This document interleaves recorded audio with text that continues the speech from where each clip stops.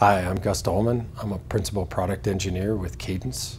I will be demoing Virtuoso PDK reuse using Tower SBC18 H5 PDK. This demo will showcase the new early access feature in AWR, Virtuoso PDK Reuse. Virtuoso PDK Reuse is part of a broader effort in AWR to enable design sharing between AWR and Virtuoso.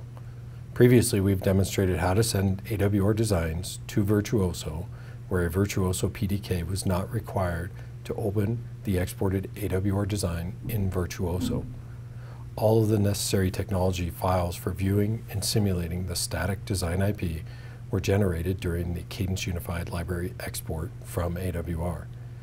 Now, with the Virtuoso PDK reuse, the AWR exported IP is no longer static once it's opened in Virtuoso. Designers can create IP in AWR using a Foundry Virtuoso PDK, send the IP to Virtuoso where the design can be modified using the same PDK in Virtuoso. The Virtuoso PDK is added the same as any other AWR PDK, the difference being the VPDK is a skill-based PDK. Using a Virtuoso PDK in AWR does not require the skill-based PDK to be recreated for use in AWR using another language. AWR can execute and read skill code. Shown here in AWR, we have a design that was created using the Tower SBC 18H5 PDK.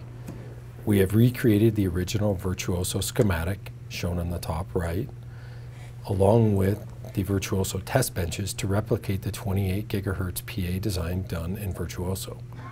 AWR is executing the existing Tower Virtuoso PDK skill callbacks to ensure proper use of the individual devices and their corresponding device models. Here I will descend in one, to the, one of the schematic elements to show the design hierarchy. Here you can see the individual devices. This schematic also has an EM structure in it, shown here in the bottom right. The Tower Virtuoso PDK has an EMX stackup in it which enables the use of EMX in AWR with this PDK. We have also replicated the Virtuoso ADE and Viva setup and are measuring output power, PAE, gain versus input power. The top left is showing the linear measurements S11, S21, and S22. Going to Virtuoso, I am showing that same schematic and measurement setup. If you look to the right, you will see the same S parameters and power measurements. And if we descend into this test bench, you will see the same schematic hierarchy exists.